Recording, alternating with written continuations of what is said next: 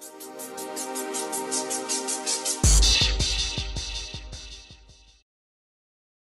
my name is Dan Oxley. I'm from Faro Technologies. I'm here today to talk to you about the Faro Scan Plan. It's a class 1 laser that is used to create 2D floor plans and diagrams. It's also, as you can see, transported in a Peli case and shortly we'll open the case to show you what's inside. We're now going to look at the scan plan itself and talk through the components and what it looks like. First thing to talk about are the lasers. There's two lasers actually on board. It has a 230 degree field of view from the front and also on the bottom you have a laser that projects. This is very important when it comes to taking photographs, but we'll talk about that at a later stage. If I turn the device slightly over, you can see there's a power button. You simply press that power button on for about one and a half, two seconds, and it'll charge the device and turn it on. At the back, we have a USB adapter, we have a charging point, we have a power light so we know that we're working, and also we can see a battery The battery is simply removed by depressing to the sides and sliding out. Another I like to talk about is the phone tray. If I lift this up, you can notice there are two metallic plates on the bottom and a USB hole. I'm simply going to take the phone, slip it in and make sure all the magnetic connections connect. On this device, I have an Android, but as mentioned earlier, you have three USB connectors. I'll just show you one example of plugging the connector into an Apple device. It's simply a case of looking for the charge point of the phone, placing inside the adapter, and a push until it clicks. This phone is now ready to be used within the scan plan. So now we're ready to use the scan plan. I'm going to start the Faro Scan Plan app and simply press on the app for it to load. We notice in the bottom right hand corner we have a blue icon. I'm going to press the icon and it's going to attach the scan plan to the software. I'll get a choice to connect over USB or Wi-Fi. In this mode, I always want to use the USB connection, so I'll simply press the top option, and it'll tell me that it's connected to the scan plan. It'll then give you the license agreement, which I'm going to hit OK, because I've already read it and I understand. What's also worth noting is that sometimes it can ask you to turn the USB tethering on on the Android device, this software will take you to that stage if it's not already activated. I now have the availability to create a new project. A project is a collection of more than one scan.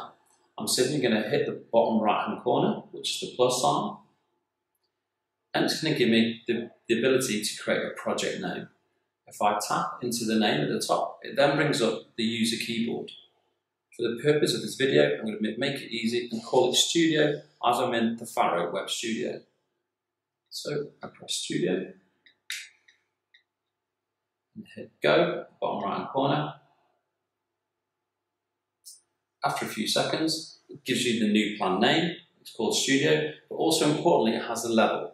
This is the point where you need to change the level to the level that you are working on.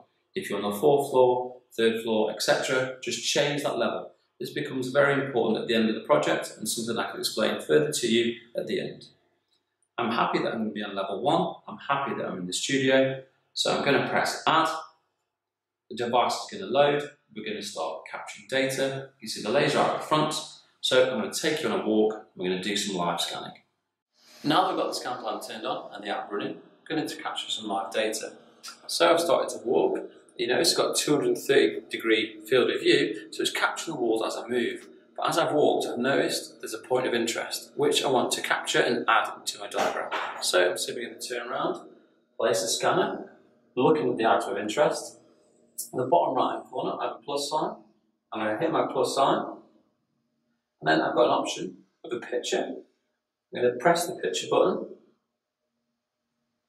and it's going to say move scan plan to the position that I want. We'll notice now that the laser has also come out from the bottom and that we talked about earlier.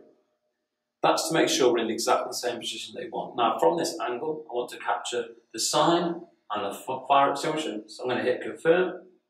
It's going to bring up the photograph option within the camera. I'm going to just simply press the photograph button, press the tick, and I can see that's been annotated into my diagram. I'm now going to carry on my walk. As I'm walking around and capturing the data, it's always important to keep an eye on the screen. The screen gives us live feed as the data that is captured. If we're walking and we notice we have areas that we've missed, we can simply turn around, walk back and recapture the data. So I can see in this corner, there's a slight recess. I'm just literally going to turn to face the recess. And then I'm going to carry on walking forward. It's also very important to keep the scanner horizontal at all times. That's a very important feature of the scanner.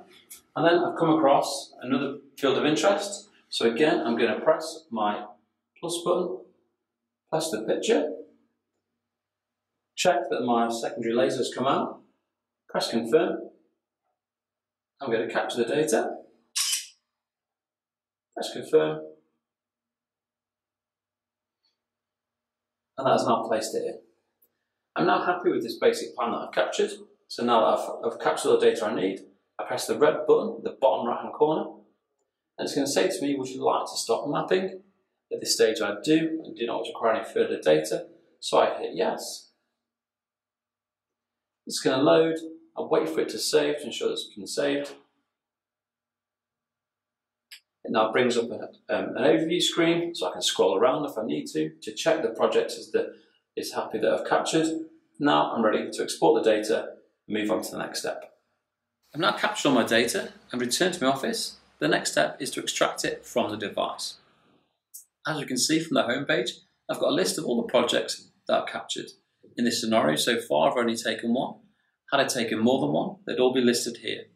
I select the project that I want, and for this scenario, I know it's Studio, so I press the right button there, and it's going to load the project for me. As it loads up, it gives you a 2D overview of the data that you captured. You can use this just to double check this is the information that you wish to extract. Now I need to go to the top right hand corner of the phone and press the three dots icon. And it's going to load up and give me options to extract the data. I then need to add a USB storage device into the bottom of the scanner and choose the option that I want. If I were to download the project, it would take the entire project onto the USB. I can then remove it, insert it into my laptop, and then open Faro Zone 2D, which is a professional drawing program, and then to make drawing and measurements of the data that I've captured. Another option would be to export it as a Scene2Go. This is a viewing file that allows the end user to open up the data and view it and take measurements as they can see it. Thank you for watching this video. In conclusion, I feel that the Faro Scan Plan is a portable, lightweight hand scanner which captures 2D floor plans in real time. It's affordable, it's fast, you simply walk, scan and capture the data. The scanner is really easy to use and also includes a 2D drawing program called Faro Zone 2D. This allows you to enhance your project with symbols, animation, satellite imagery, and also, importantly, to take measurements. Also in conjunction with this, we have Scene2Go, which is a secure offline way of sharing the project with partners, colleagues, and other end users. The Faro Scan Plan is really is an affordable solution which appeals to a number of markets. Security pre-planning, fire scene pre-planning, crime scene investigation, post-search warrant, executive planning, just to name a few. And again, I would just like to take this time to say thank you for watching the video and I hope you enjoyed it.